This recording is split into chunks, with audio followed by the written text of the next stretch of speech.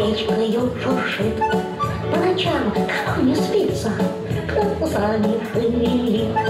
И хозяйку не боится, ни котенок, ни тигренок, совсем не домовой, просто маленький мышонок. Догадайтесь, кто такой?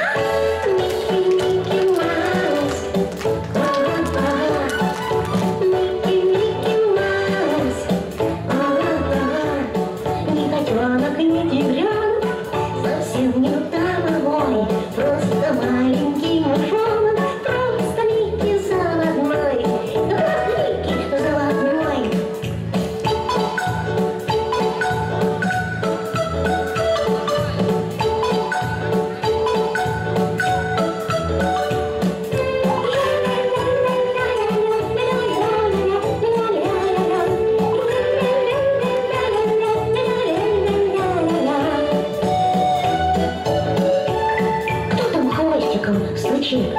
Забавляется, играет, кто ушами шевелит.